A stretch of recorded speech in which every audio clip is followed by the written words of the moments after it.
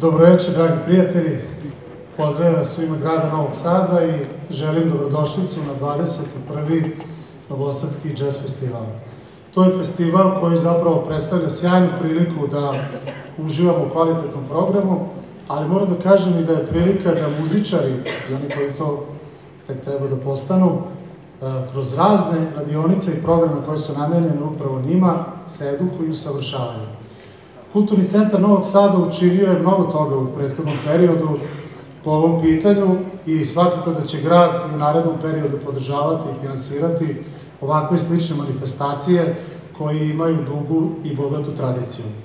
Sada je već opšte poznato da je Novi Sad Evropska predstavnica kulture za 2021. godinu i moram da kažem da je ogroman tim, veliki tim, pre svega stručnih ljudi angažovan da na jedan pravi i dostojan način predstavimo naš grad i opravdamo titulu koju sa ponosom nosimo.